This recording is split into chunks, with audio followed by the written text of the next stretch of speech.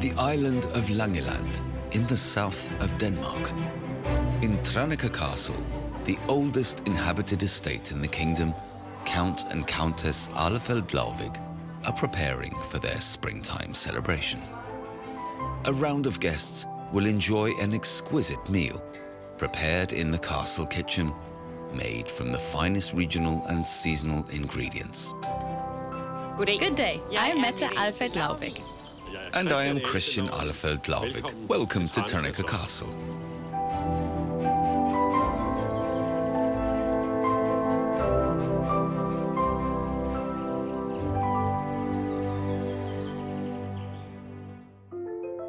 Langeland is the largest island in the Danish South Sea. The Danish kingdom is known for its delicious seafood and smørrebrød, a well-topped piece of buttered bread considered a national dish. The fresh charm of Scandinavian springtime is all around the island and its castle. For centuries, it's been the symbol of Langeland Island. In June, the Count and his wife Countess Mette invite close friends and family to a springtime celebration. In two days, on the morning of the party, the Count will go stag hunting. Jørgen Rasmussen is in charge of the hunt and will be going with him. There could be something good done in Mummeland. And then a little further up from where one can see the castle. Yes, it's uh, great down there. Have you already picked out a good stag? Yes, the plan is to get a feel for the lay of the land now. Uh, yes, so you'll probably get going around five? Good that I don't have to get up so early. Yeah, it's already light.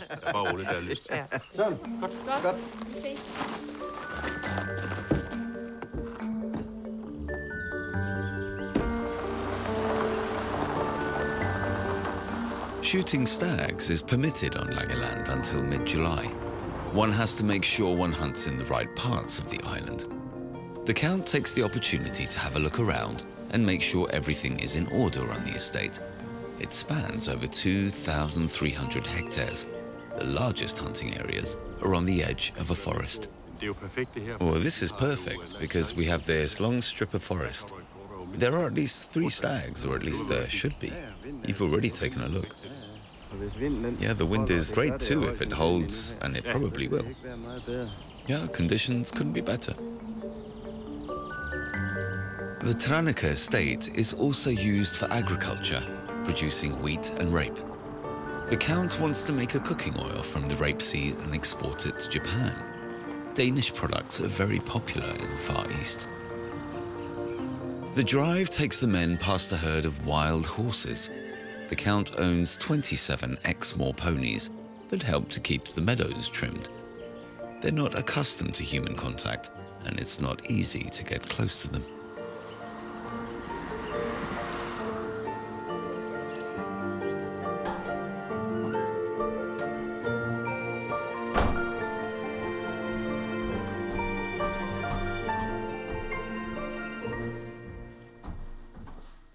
Mette has a lot to do in the castle. Chef Christian Pichardt wants to go over the menu for dinner. For the first course, Christian suggests lobster, local lobster, of course. Christian, as a starter, I could imagine something with white asparagus. What do you suggest? Yes, I think one could make a little asparagus with some fish. Turbot, asparagus, a little butter, something crunchy, a few herbs. On account of the hunt, Mette wants to serve stag, whether it's fresh from the estate or not. This means using a cherry wine, which is made according to an old family recipe. I think it has such a deep and rich flavor. If we reduce and mix it with the meats, juices, a little butter, salt and pepper, we'll get a very deep and intense taste that will bring out the cherries and the meat. I can't wait to try it. It'll be a new experience. Eh? For dessert, they agree on ice cream with strawberries and rhubarb. Christian knows the culinary preferences of the hostess very well. For me, the most delicious food is fresh, seasonal produce that is prepared in just the right way. Our chef, Christian Pichardt, is an absolute expert. It should be delicious yet simple. It shouldn't be too labored and too fancy. Just straightforward and tasty. That, for me, is a delicacy. The Countess is very pleased. If the menu is anything to go by, the dinner is looking to be a great success.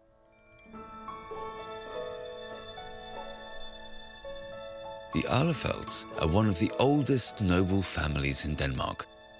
Tranekær Castle was built in the 12th century as a fortress.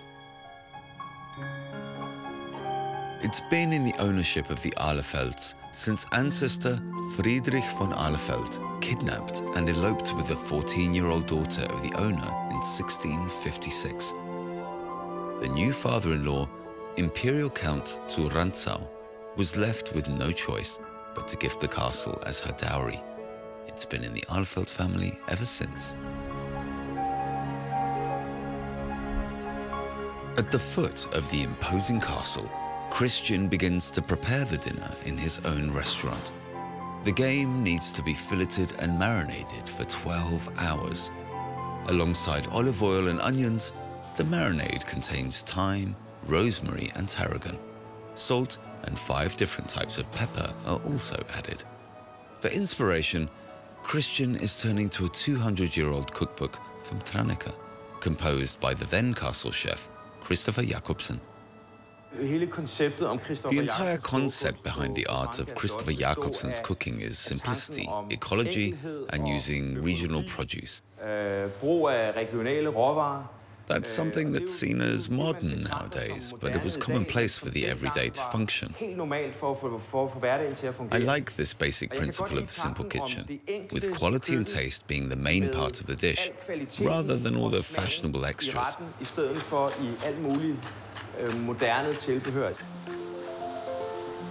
Christian is also getting started with the Countess's cherry wine to make the base for the sauce. For dessert, He's preparing a soup made from rhubarb and strawberries grown on the island.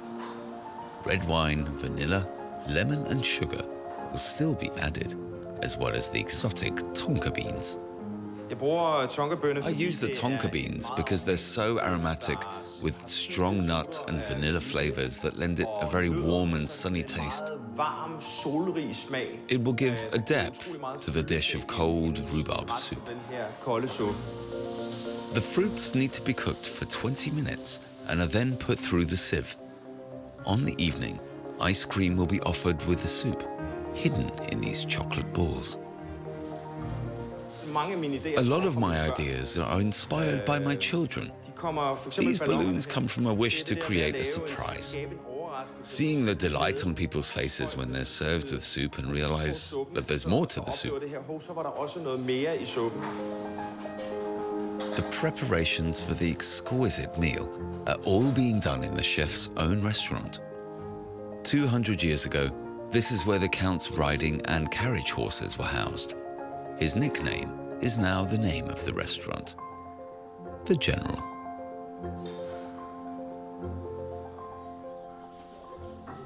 Before busying herself with all the preparations, Countess Mette takes some time with her horse Polly.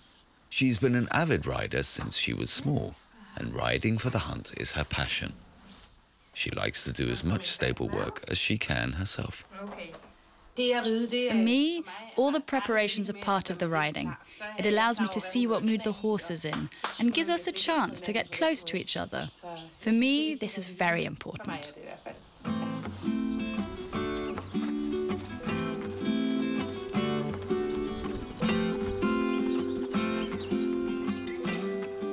So that they understand what is needed of them in as well as outside of the dressage arena, event horses like Polly have to learn, or it could get dangerous in competitions.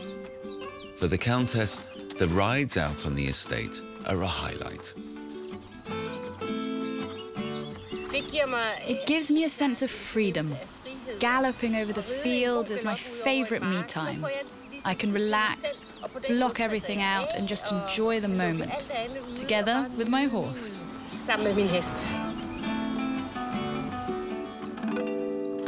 But today, there's little time for that.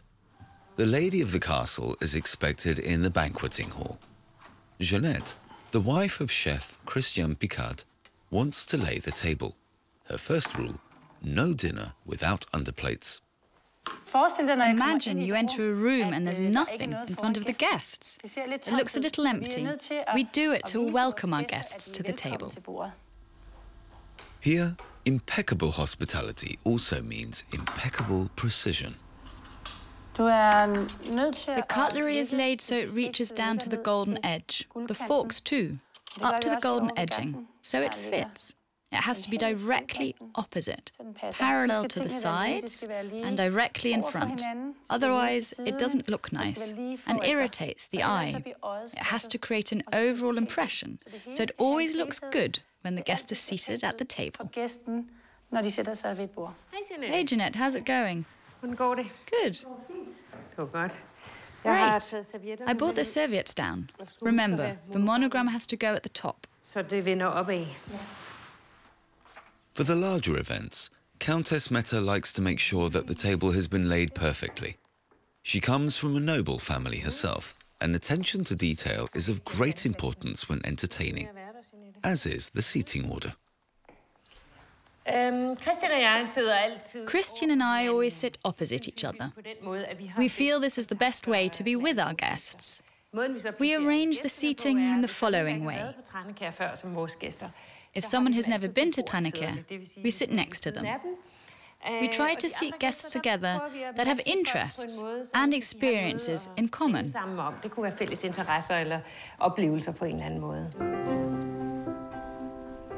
While Jeanette is achieving her perfect symmetry, the Countess tends to the rooms of her guests.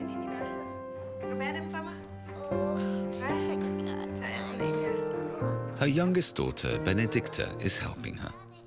The castle's guest rooms always have something sweet and sometimes an unusual surprise. Hello. Can I come in and have a look? Does everything look good? An unconventional way to the bathroom.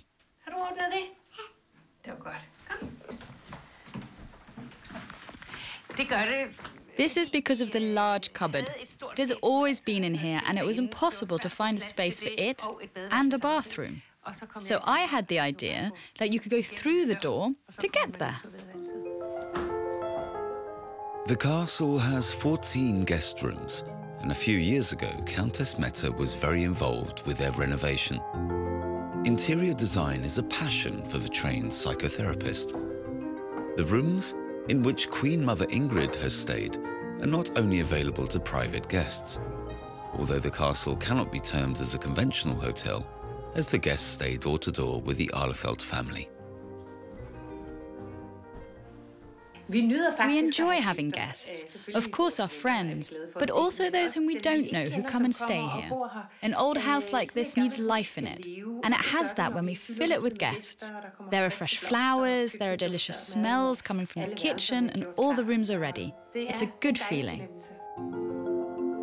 The castle has a total of 70 rooms, such as the Red Hall, with mirrors from the 19th century and photos from the 21st, some taken by the godmother of the Count, the Danish Queen Margrethe II. The Chinese room has a special story. The great-grandfather of the Count was the Danish ambassador to China and Mongolia a hundred years ago.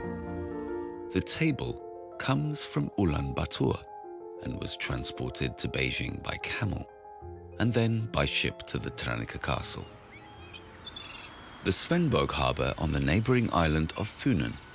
Chef Christian wants to get the turbot from fish merchant Mats.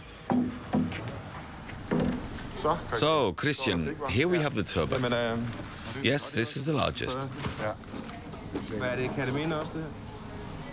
Christian secures four of the delicacies for one of the starter courses. He takes a lot of care when preparing them back in the kitchen.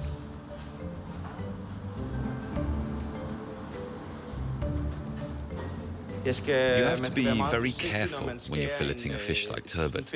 Of course, firstly because it's expensive, but the meat is also very valuable as it's so firm and incredibly tasty when you bake or fry it.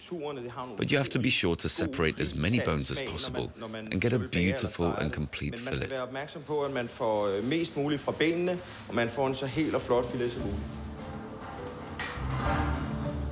Christian wants to serve the turbot with dinkel, He's cooked the grain and is now letting it cool and dry. Only then can he roast it as planned. For the lobster first course, he's making an onion puree. The onions are cooked with salt, thyme and milk. At the finish, a touch of garlic will be added. The timing is crucial when it comes to the lobsters. Once he's removed the delicate meat, he uses the shells for the lobster essence. With some vegetables, red onion, thyme, and white wine, it cooks for at least 16 hours. Only then has the full aroma been achieved.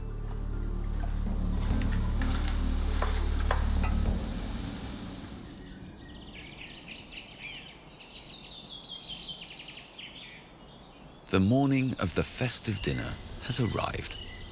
At five on the dot, the Count and the forester Jørgen meet in the forest by the castle. Alan Madsas is joining them, one of the guests who comes to the castle several times a year, especially for the hunting events. Without hunting, nature would be out of balance here.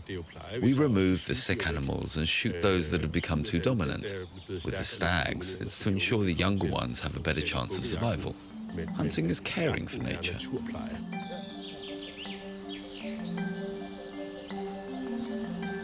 Wind has unexpectedly turned, so they're taking a different route than originally planned.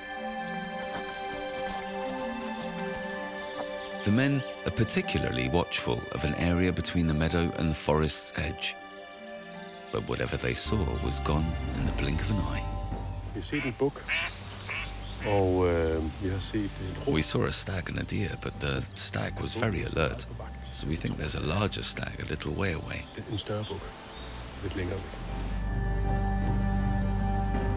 The men decide to split. There are two places where the stag they spotted could reappear. Christian heads east. Now is the time for patience. If there's a chance that a stag can just come by, you wait. Sometimes I start by sitting and waiting. Sometimes I end the hunt this way. It's exciting. What will the morning bring? Sometimes you're lucky, most often not. That's just the way it is.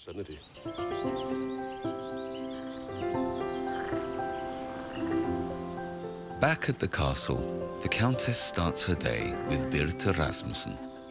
The ladies are choosing the flowers for the table decorations. Birte is a florist on Langeland and has been tending to the arrangements at Tranekær for years. If we're going for colour, then this is best. Then these go well. Yes. It's nice with the leaves, and we have this foliage. For the lining and the accessory. Yes, that's a good idea. The round rhododendron petals are a nice contrast to the high lupins, which Birte brought from her garden. Mette has also very clear expectations when it comes to the flowers. They shouldn't be too formal, more inviting and homely. Of course, always pretty and creative. That's what makes them a nice floral decoration. But they also need to look comfortable. Birte is in charge of arranging the flowers, while Mette will be receiving her first guest soon. In the kitchen, Christian is testing his cherry wine reduction, which will be added to the juices of the cooked game.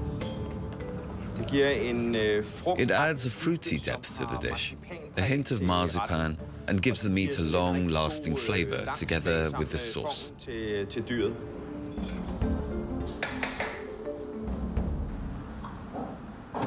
Things have to be quick and coordinated when it comes to the dessert. The frozen chocolate balls mustn't melt. The filling made from cream, vanilla, egg, sugar, and white chocolate has to be inserted quickly and then have time to cool down. Now it's time for the butter, with a hint of salt and white pepper for the turbot. Little pieces of onion have been added for more flavour and saffron for the colour. Count Christian has had little luck with his stag in the forest. Jørgen and Alan have also been unsuccessful. The animal they saw through the binoculars early that morning has made itself scarce. Maybe it's down to the early warning system in the forest. The blackbirds are especially good, the songbirds too. When they go chip, chip, chip, it's likely that there's a fox or a cat about, some animal on the ground. When they squawk, then they've seen a bird of prey or an owl that's sitting in a tree. Then they gather. The owl is usually perched close to the trunk and they fly around it and warn each other. Today, the game outsmarted the hunter. They saw the deer with her young again, but the stag they intended to shoot has disappeared. They don't bite every time. We had a nice morning, saw animals. It is what it is. We'll have to come back another time.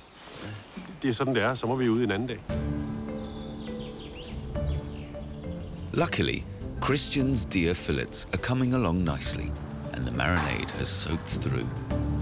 Now just the finishing touches have to be made before the meat is served this evening. I'm placing it on a very, very hot iron pan because they're very tender pieces of meat and it has to be quick for them to get the flavor of the grill yet still be raw inside. Whilst the last preparations are being done in the kitchen, the first guests are arriving at the castle. Good friends from Copenhagen and Christian's parents, Countess Britta and Count Preben Ahlefeldt Laurvig, are here. For a quick little snack, Christian has rustled up some salmon sandwiches with a delicious cucumber relish made from vinegar, thyme, and sea salt to round off the salmon. The salmon is cold smoked, very mild and elegant in taste, while soft in texture. The smoky taste sets off the cucumber salsa, which is slightly tart and lends it a freshness. The hard-boiled quail eggs are an eye-catcher, topped with parsley and chervil pesto. The weather on the island is holding too, so the party can enjoy the Danish snack outside. Er dette så en lokal laks som er um, røket i området her? Det kan bare vel være. Spis. Shall we start with the toast and saying welcome? Yes, we should. Thank you for the invitation.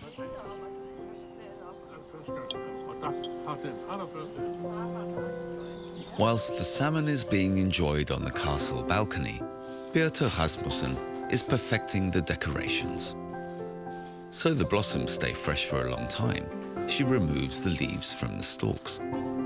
She likes the color combination, and the white porcelain blossoms complement the large ones nicely.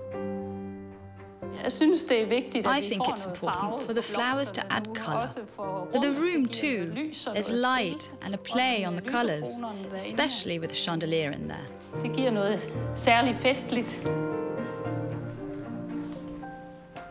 There's only one rule for the arrangement. It can't be too high. The guests need to be able to see each other. I think this suits the table. Pretty colours for a lovely evening.